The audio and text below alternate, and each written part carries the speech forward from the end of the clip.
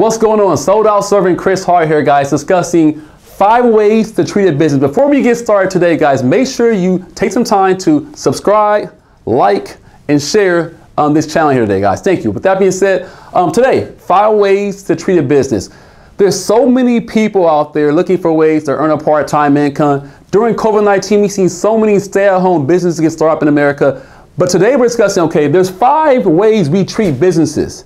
I've seen a lot of people go through these stages from hobby to employee to independent contractor to business owner to professional. Today we'll discuss each one of these stages and exactly where you're at in your stage how to go from one to two, from three to four, and four to five to eventually become a professional in your industry, guys. So the first one here, hobby they don't take it serious, man. I've seen so many people, these online ads, part-time business cash flowing $1,000 a week, subscribe here. Um, COVID-19 created so many stay-at-home businesses. We were at home already looking for additional streams of income. And so what did we do? Started a stay-at-home business. Here's the problem with that.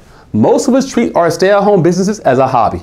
Most of us are not really serious about what it takes to become a professional business owner. So what do we do? We start a business for a startup fee of 200 bucks. Get started here online. We, we, we don't take it serious. We don't study our craft in that industry. And eventually, most people who start at the stage of hobby eventually fades into that. We all know somebody who started a business six months ago, 12 months ago, 24 months ago, and you talk to them again, you say, hey, Johnny, how's that business going? Oh, that thing, man, we stopped that. It, it, it doesn't work. It doesn't work. It was probably they didn't work. it. They were hobbyists.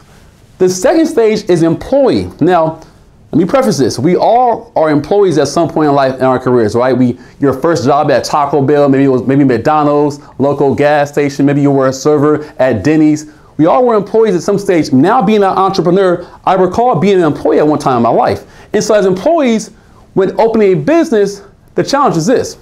We're going from an employee mindset to a business owner mindset. And getting out of stage two is the hardest for most people, guys. And what is it? You wait for someone to tell you what to do next. Why? Because at a job, you have a manager. You have directors, you have leaders, you have a you have a boss who's telling you when to clock out, when to have a lunch, when to take a break, all these cool things, right? The challenge is this: now that you're a business owner, no one's telling you what to do. And what's crazy about it is this: we think we're ready for business ownership, maybe we still have an employee mindset, and so we can plan about investing back into our business. Guys, I used to work at Apple as a business manager. I would show up to Apple, guys. They provide me a MacBook Pro. They gave me an iPhone, gave me an iPad. I didn't pay for anything, right? I didn't have to invest into my own business. Guys, when I became a business owner, it was like, okay, um, where's my laptop at? I buy my own laptop. I'm paying for my own office space, paying my own lease, paying for my own assistant. Their challenge is they don't want to invest back into the business. Why? Because they're used to being an employee, showing up to a job, and having everything given to them. If you're going to be successful in business, you got to get from that hobbyist stage and eventually get to a level where you're an employee, but you got to graduate from employee to that next level to see success. Level three, independent contractor. So you may say, preface here, time out guys. Some, some business owners are independent contractors, right? You got the guy who sells homes, right, in real estate. He's an independent contractor, guys. He sells homes, services his clients, provides customer service. I'm not talking about him, guys. I'm talking about the guy who's opening up a bakery down the corner. The guy who's opening up a barbershop wants to scale into a larger, larger business place. This guy is, the problem is they're independent contractors who don't level up to that next level of being a business owner. I know some realtors who are making decent income. They live and die by their personal sales. I know a realtor did, did $5 million in, in sales last year. The challenge is, in order to repeat that, they're doing it again next year. So what's the challenges with becoming an independent contractor and getting out that phase? Here's the first one here, guys. They like to be left alone. You know people who say, hey man, I want to make some money, become a business owner. I don't want a boss. I'm not an employee. Don't want to clock in, clock out. I want to study my craft, be, do, be good at what I do, and stay in my lane. They own a practice. They're not business owners, but nothing wrong with that. You can be a high income earner as an independent contractor. The problem is this you like being left alone. You don't have the patience to develop or hire other people or train other people. So you can never replace yourself the one big stage of business is this getting to a point to where you can duplicate and replace yourself so as an independent contractor every year your income your 1099 is dependent upon you putting in the work now if you're saying chris i don't want to be stuck at a at level three man I, I want the income of that but I want, I want higher levels of income i want to be able to scale my business you have to graduate to level four becoming a business owner. Now you may say, this person thinks they're a business owner, they're not. They say I'm in business for myself, they're not. I'm an independent business owner, I'm an entrepreneur. You're an independent contractor, business owner. Their business is their life. Guys, when I went full time to business, it became my life. My wife was a stay at home mom. At the time I went full time in business was 2016. Um, my son was just born that year. My daughter was a year and a half, man, and we went all in. Guys, no income, no job coming in. If I didn't provide, if I didn't build a business or provide the lifestyle for my family, it wasn't happening. I went all in. And here's the thing, guys, we leverage systems as business owners. Guys, you come to my office here. I got an assistant for a new business. I got an assistant for customer service. I have an assistant for special events. I invest back into my business. There's a lease we sign here. You pay for that lease. And so as a business owner, you start putting skin again. Now, what does that provide for me? It provides systems I can leverage. My staff takes care of customer service. They take, care of certain things with payroll. And what happens? It allows to free me up to do what I'm good at doing. Just like the independent contractor, like selling, I like selling also, guys. But guess what? I don't want to take care of paperwork. So I hire someone to take care of that for me. I have a team. I, I have a couple hundred licensed agents across the entire country. How, that, how is that possible? By having the patience to develop, hire, and train. So if you're saying, man, Chris, I want to get to a level where I can make income, I'm not there. We were in Hawaii last month, my wife and I. My daughter, my son, mother-in-law, had a blast in Hawaii. We're in Maui, right? One of the first time, one of the first, they, they just opened back up from COVID. We're in Hawaii having a good time. And I'm back in Hawaii, relaxing, chilling, guys. My business is operating. I have, I have, a presence in Columbus, Ohio, Brooklyn, New York, New Jersey. We're in the DMV, DC, Maryland, Virginia area. We're in, we're, in, we're in Riverside, California, Lubbock, Texas, North Carolina. Where I'm in Maui with my family relaxing. Guess what? My business is developing. My staff is back at the office.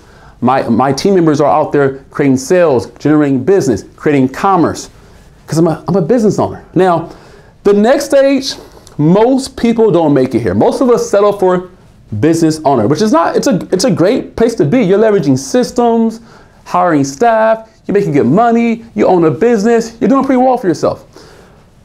But the professional does whatever it takes to be the best in their business. Guys, I think about the likes of LeBron James. LeBron James is a professional. LeBron invests $1.5 million a year into his body. Wait, wait, 1.5 million a year into his body. Why?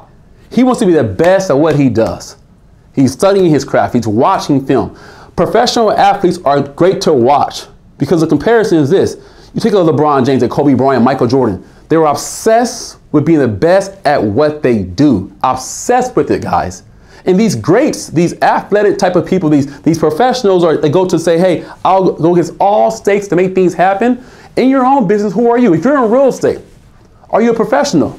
Are you the best at what you do? I had a, had a, a member of my team, one of my agents say the other day, man, he used to say, Chris, man, I, I can't make it to the meeting on Saturday. I'm like, why? What's going on? Um, I got to go to this, this gathering, this party I'm, I'm invited out to. Well, what do you mean? I was, I was invited out to a party, so I can't make the, the sales meeting. I'm confused. The sales meeting's been on our calendar for the last quarter, and you're not coming because of a party? Well, I, I have to miss it. Let me ask you a question. If LeBron James was, was invited out to a party, right? He's playing a game, right? He's playing a game at Staples Center, Saturday evening. Can LeBron James say, hey, Laker organization, guys, man, party to go to, man. I can't make it to the game. No, he can't. He's a freaking professional. And so for those of you guys saying, man, I want to take my business to the next level, guys, I've been in my industry now going on eight years in this industry of financial services. And for someone like myself, I was a professional getting my, getting, getting my game better. Why? Because I missed so many parties, so many barbecues. I was, I was fixated on getting better. So when someone would say, hey, Chris, we have a barbecue to go to, I can't. Why not? I'm at the office Saturday morning. Office Saturday, I'm at the office Saturday morning, man. Why? I'm a professional. That's on my calendar. I go to the office every Saturday morning to work, work on customer service, follow-up calls, sales. And so if you're saying, man, I want to be a guy who can be um, a number one guy in my industry, maybe you're in the DMV, maybe you're in Orlando, Florida, maybe you're in Brooklyn, New York, maybe you're in real estate sales in your region. You're saying, man, Chris, I want to be the best real estate sales agent possible. Maybe you're a guy who does door-to-door sales. Maybe you sell um, cable television. You sell wireless internet. I want to be the best at what I do. Maybe you're a guy who's, who's just starting in business. You're saying, I want to be the best. Do you treat your business as a professional? Because for a season in your life, you have seasons. LeBron James has a season. Tom Brady has a season. During football season, he's all in.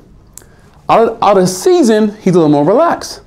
Guys, right now in my professional business life, I'm in season mode.